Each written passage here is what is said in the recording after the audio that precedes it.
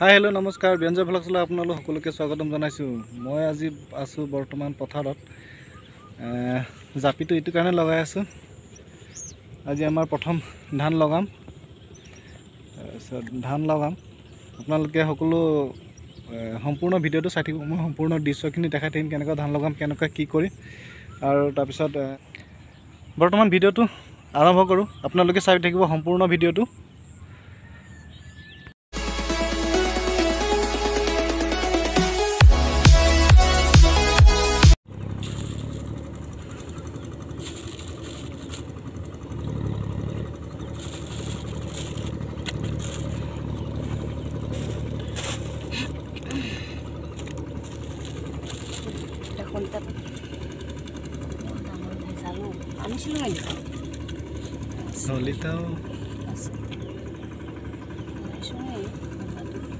এতিয়া কি তামোলটো পাৰ হৈ হা?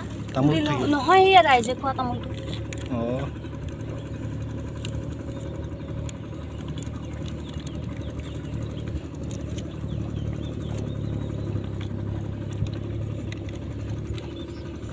কচু গছটো কি কাৰণে লগাই জানো নাজানো মই কঠীয়া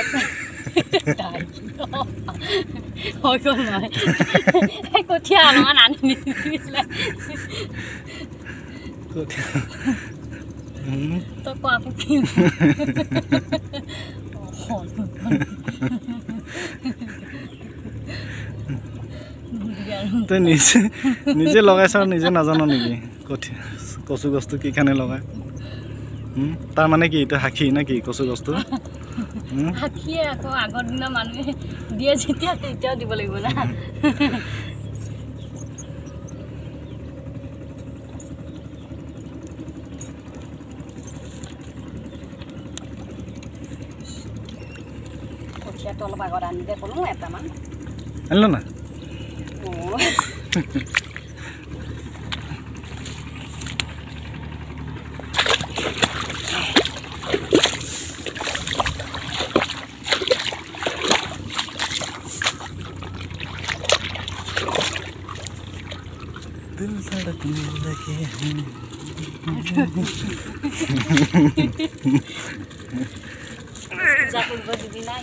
দে পূজা কৰি থাক তই প্ৰথম ধান লগোৱা আজি আমাৰ এয়া এনেদৰে ভগৱানক পূজা কৰা হয় আমাৰ ইয়া লক্ষীমা পূজা কৰি আছে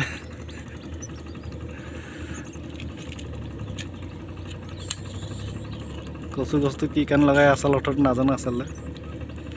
তাৰপিছত চবতে সকলোতে বেলেগ বেলেগ। কিছুমানে কলগছ লগায় আৰু কিছুমানে আমি কচু গছ লগাওঁ আমাৰ গাঁৱত। চবৰ জেগাতে চব নিয়ম বেলেগ বেলেগ। আজি প্ৰথম ধান লগাবৰ কাৰণে এয়া চাকি জ্বলাই লৈছে। প্ৰথম ঘৰৰ মানুহটোৱে গছা ল'ব লাগে।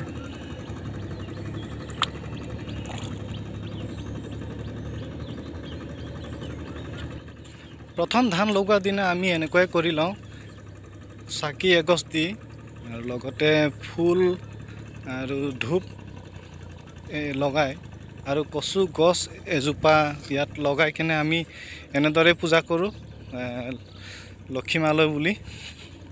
আৰু কচু গছটো আমি এইটো কাৰণে লগাওঁ যে কচু গছৰ নিচিনা বা কচু গছৰ দৰে ধানটো সোনকালে ওখ হয় আৰু ভালদৰে যাতে ধান গছা ডাঙৰ হয় ধান সোনকালে লাগে।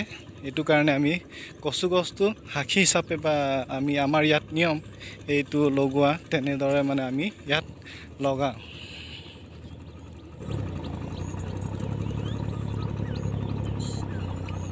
জয় বিশ্বকৰ্মা বাবা কি? ন জয় লক্ষী মা কি? আচলতে বিশ্বকৰ্মা বাবাৰ লগতে। হাল মৰা হয় সেইটো কাৰণে। যে ভগৱানে ভালে ভালে ধানটো ডাঙৰ দীঘল কৰে যাতে।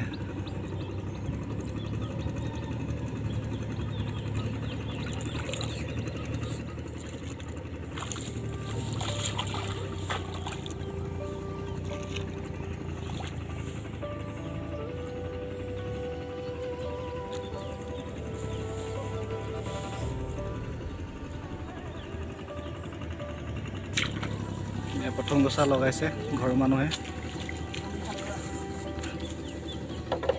ৰোৱনীবিলাক মাতিছোঁ ৰোৱনী বহুতকেইটা মাতিছোঁ এতিয়ালৈকে অহা নাই ৰোৱনীকেইটা বৰ্তমান বৰ্তমান প্ৰথম ধান ঘৰৰ মানুহে গছা লগাব লাগে সেইটো কাৰণে ঘৰৰ মানুহে গছা লগাইছে তাৰপিছত এতিয়া আহিব আৰু ৰোৱনীকেইটা ধান লগোৱা মানুহকেইটা।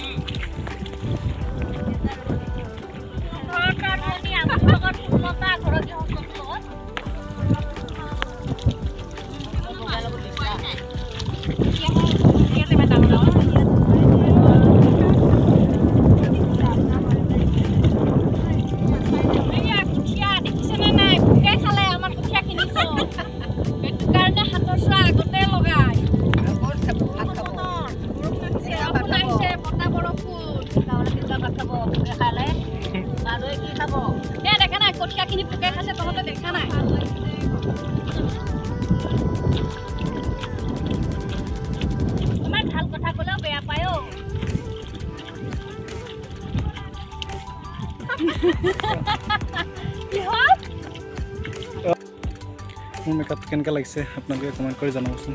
মেকআপ নহয় আচলতে মই পাৱাৰ টেলাৰ লগত আমাৰ পাৱাৰ টেলাৰ আছে পাৱাৰ টেলাৰ লগত হাল মাৰি এই অৱস্থা হৈ আছোঁ। এই অৱস্থা তাৰপিছত ধান লগাই আছে মোৰ পিছপিনে।